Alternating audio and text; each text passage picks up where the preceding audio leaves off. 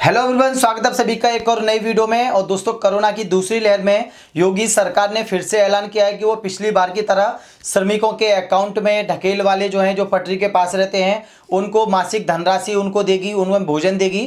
तो इसमें सिर्फ़ उन्होंने सिर्फ़ ट्वीट किया है, बाकी बताया नहीं है कि किन किन लोगों को ये पैसे मिलेंगे और क्या आवेदन हो करना पड़ेगा, क्या करना पड़ेगा। तो वो सब मैं आपको इस वीडियो में बताने वाला हूँ कि ये रुपये जो है वो किन लोगों को मिलेंगे, किन लोगों को नहीं मिलेंगे। तो चलिए फिर स्टार्ट करते हैं। तो दोस्तों, सबसे पहले मैं आप लोगों को याद दिला दूँ कि कोविड 19 जब फैला था तो 2020 में योगी सरकार ने ऐलान किया था कि वो श्रमिकों के अकाउंट में जो ठेला लगाते हैं, ढकेल लगाते हैं, उनके अकाउंट में एक एक हज़ार रुपये देंगे, जो कि उन्होंने दिए भी, लेकिन सभी के अकाउंट में नहीं डाले गए थे। तो श्रमिक जो है, ये नहीं कि आप मजदूरी करते हैं और आपके अकाउंट में रुपये आ जाएँगे। इसमें क्या था कि जो श्रम श्रम विभाग में रजिस्टर्ड हैं, उन्हीं के अकाउंट में रुपये दिए गए थे। और श्रम विभाग में कैसे रजिस्ट्रेशन करना होता है, कैसे आप कार्ड बना सकते हैं अपना, उस वीडियो का लिंक मैं आपको इस वीडियो के डिस्क्रिप्शन में दे दूँगा। तो आप घर बैठे ही अपना श्रम विभाग का जो है, उसमें रजिस्ट्रेशन कर सकते हैं, अपना मजदूर कार्ड बना सकते हैं। दूसरी चीज़ में ये थी कि जब जो बोला गया था कि ढकेल वाले, ठेला वाले, उनके अकाउंट में हम एक हज़ार रुपये देंगे तो उसमें ये नहीं कि आप ढकेल लगाते हैं और आपके अकाउंट में रुपये आ जाएँगे।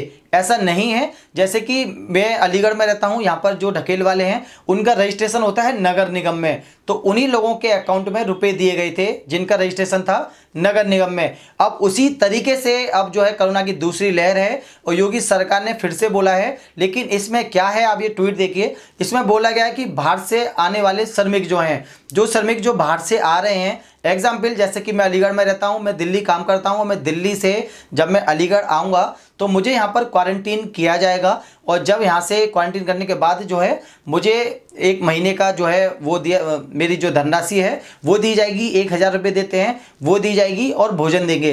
दूसरी चीज़ बोला गया है, इसमें ढकेल वाले जो हैं तो ढकेल वाले वही हैं, जिनका रजिस्ट्रेशन नगर निगम में है, उन्हीं लोगों को रुपए दिए जाएँगे। तो इस तरीके से ये रुपए दिए जाएँगे। और कैसे लिस्ट चेक कर सक कर सकते हैं। आपका श्रम विभाग में रजिस्ट्रेशन है या नहीं तो उस वीडियो का लिंक जो है वो आपको मैं इस वीडियो के डिस्क्रिप्शन में दे दूँगा। और आप अपना श्रम श्रम विभाग में रजिस्ट्रेशन कर लीजिए। दूसरी चीज़ मैं ये कहना चाहूँगा कि सभी लोगों के अकाउंट में तो एक हज़ार रुपये नहीं आते हैं। जैसे कि अगर पचास हज़ार लोगों ने रजिस्ट्रेशन करा रखा है श्रम विभाग में अलीगढ़ से तो पचास हज़ार में से मुश्किल से दस हज़ार लोगों को दिया जाएगा। तो ज़्यादातर लोगों को ज़रूरत है तो ऑक्सीजन की तो वो होना चाहिए। तो मिलते हैं आपसे नेक्स्ट वीडियो में। Bye bye.